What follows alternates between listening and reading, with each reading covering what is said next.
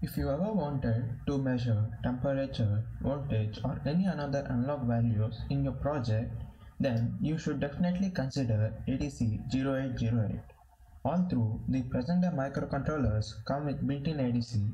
There are many microcontrollers like 8051 and even microprocessors which don't have one. Not only it is easy to interface, but also it can be used independently using a 555 timer and to clock it and LEDs to display the output values. Before we make the connection, first let's look at its datasheet.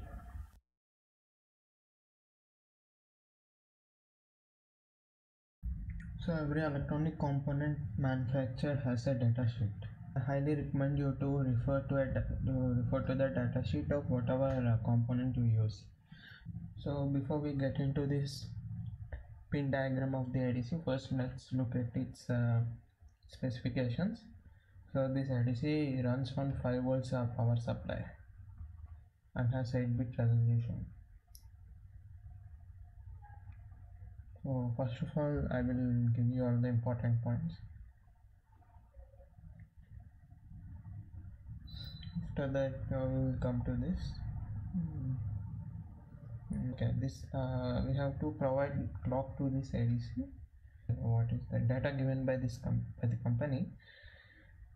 The clock frequency can be between 10 to 10 kilohertz to 1280 kilohertz so see this is the kilohertz uh, units so you can provide this ADC clock from 10 kilohertz to 1280 kilohertz they even said you can uh, typically clock frequency 640 anyways you can provide 200 100 kilohertz 200 kilohertz 300 500 it's fine.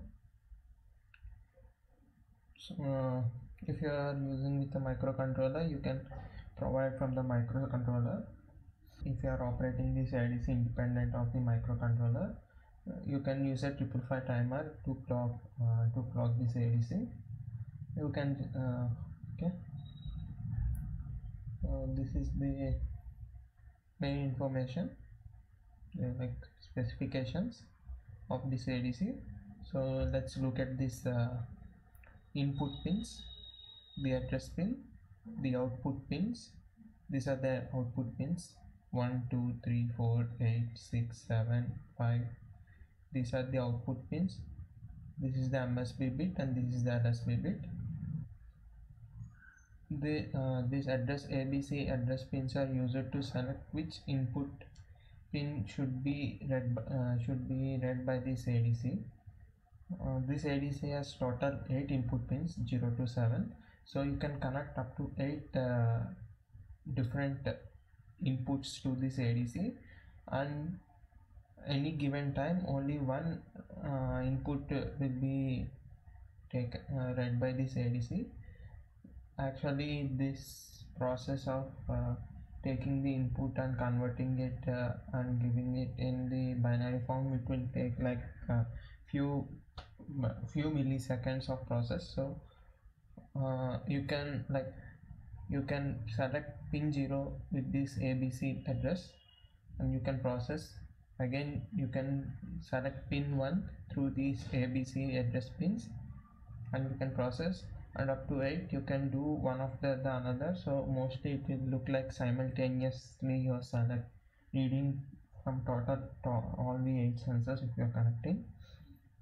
So how do we select these pins through ABC bits? I will show you that in a second.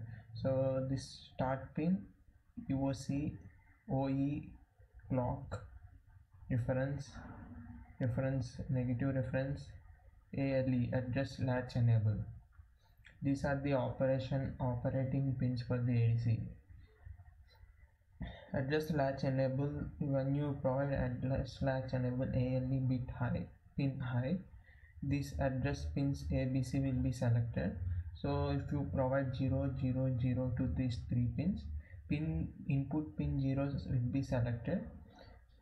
Address uh, table here 0 0 0 to abc we will be selecting channel 0 that is input pin 0 high low low means 1 0 0 you will be selecting channel 1 low high low will be selecting channel 2 up to 7 so there is an advantage with this. So uh, like instead of connecting all these three pins to microcontroller if you are using only input uh, 0 you can simply connect it to pin 0 input pin 0 and you can connect all the abc pins to ground. So when you connect all the abc pins to ground these three pins uh, will be reading 0 in this way your uh, pin usage of the microcontroller uh, will be less so you can use the pins of those microcontroller for some other function so while you're providing uh, address to this ADC ALE, ALE bit should be high. Once you provide a, this uh, address to this ADC ALE will be high and then you can just you, know, you can keep keep it low after that. Okay uh, so let's see the op okay well, by the way you should connect um, VCC to positive 5 volts and ground obviously ground to ground. Reference plus generally we will be taking 5 volts and reference minus we will be connecting it to ground. So ADC will be recognizing it as 0 to 5 volts. And whatever the input values read by the ADC will be measured between 0 to 5 volts if you are taking if you are taking reference minus as 1 volt instead of connecting it to ground which is 0 volts if you are taking reference minus as 1 volt this ADC will be recognizing value voltages from 0 to uh, 1 to 5 volts. Similarly if you provide 2 volts here and here 5 volts it will be recognizing from 2 volts to 5 volts. So this is and this uh, ADC has uh,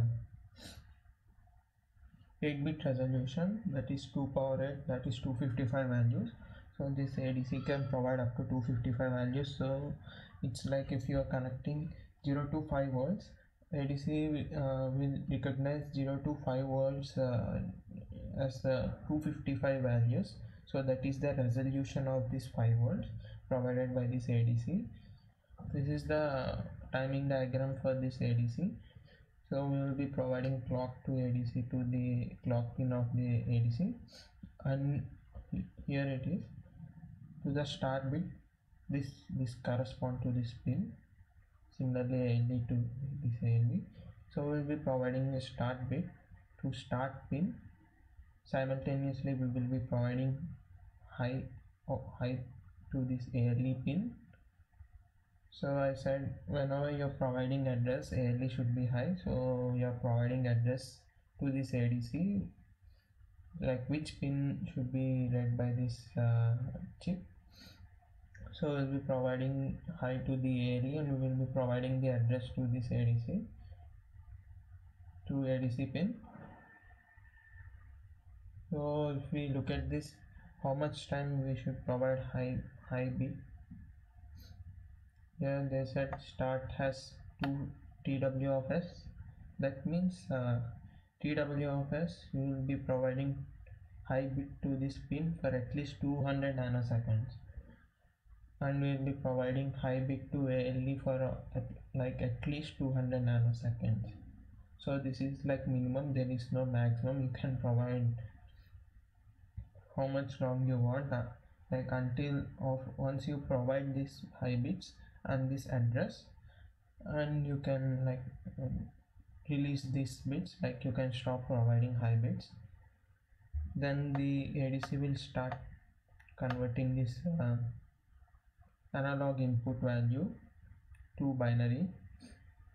So this is the binary values. Once uh, like once it is converted by the ADC this is the EOC end of conversion so as long as long as the conversion is not started this will be high. Once the conversion is started the EOC pin goes low.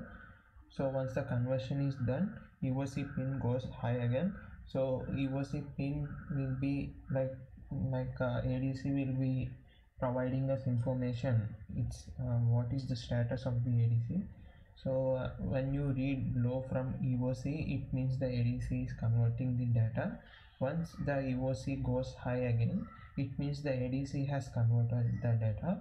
So while you're coding so in your code you will be writing a condition like if eoc is equal to 1 like while eoc equal to 0 after that if eoc equal to 1 then you will provide evo output enable this is the output enable pin. That means once you uh, once the conversion is over you have to provide high bit to oe pin. This is the oe pin. You can see this here oe pin. So when you provide output output enable provide high to the output enable the output data will be uh, output will be provided to you through the output pins. These are the output pins msb to lsb bit 1 2 3 4 5 uh, 6 here 7 8 here, here, here. It will be connecting msb to lsb as in order to the microcontroller. So as long as you keep the OEs, OE high output uh, will be latched on this uh, output pins of the ADC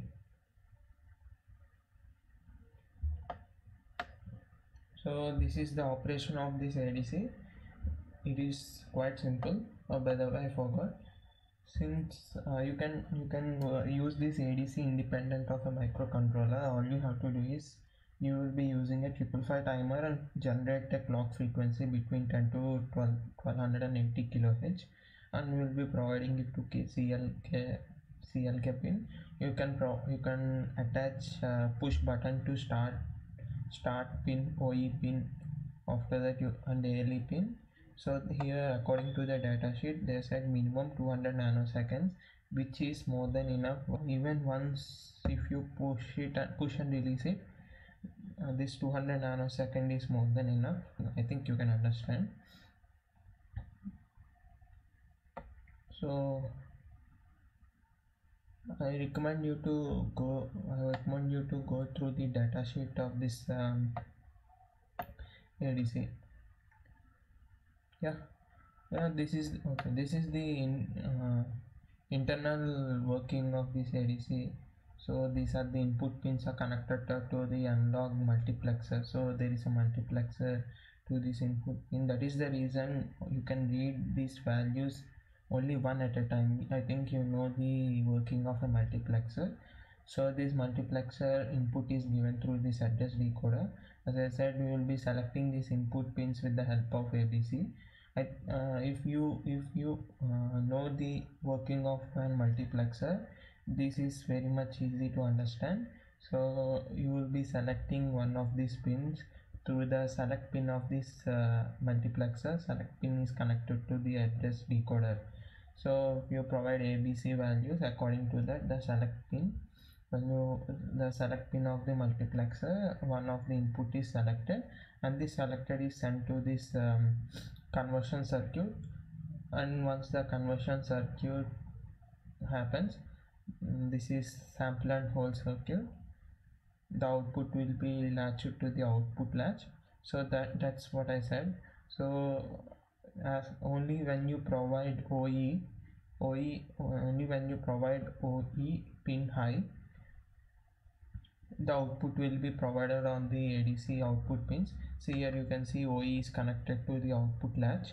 So this is the output enable this is the enable pin en OE is enable pin of the output latch. As long as OE is uh, enabled high output will be provided on the output pins of the ADC similarly as long as this is the enable pin of this uh, address decoder so uh, when I, said when you're providing address of ABC to the um, ADC you should enable ALE address latch enable that's what ALE means. So when you provide ALE high it will it will be enabling this address decoder. And address will be sent to this uh, multiplexer using the uh, select uh, input select pin. So one of this uh, input is selected. Once the input is selected the input uh, analog values are given to this um, analog to digital converter circuit. It's a sample and hold circuit. Once the conversion is over the converted output is provided to the output latch. So there is the so once the conversion is over eoc goes high. That means end of conversion goes high which uh, which is the indication that you have to read the output data.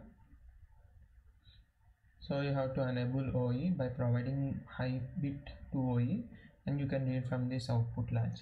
So this is the internal working of the ADC it is a simple uh, all these are very basic uh, electronics concepts